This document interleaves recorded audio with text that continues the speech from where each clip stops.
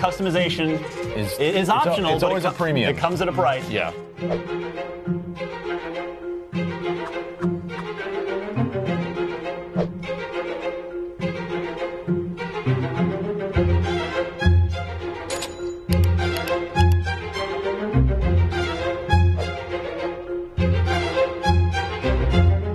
More people that buy my design, the more money I make. I got more than half of what I paid for it. I actually earned over a thousand dollars.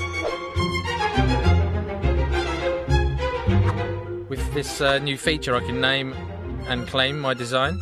Now that design belongs to me, anyone can buy it. I figured a lot of people would be into Despicable Me and the Minions. I'm German, but Brazil has a much bigger fan base. Trump's smart, a good businessman, straight talker, tells you the truth, tells you how it is. He looks like a Cheeto. The controller I designed was a breast cancer awareness controller. I wanted to join the fight for marriage equality in Australia. I want to try to make money off this thing. Make something that was empowering. Unicorns. Black Lives Matter. Matter. Bacon. The Pope. Atheists. Believers. Bitcoin. Despacito. Hashtag me too. Did Twitter a lot. I did social media on YouTube.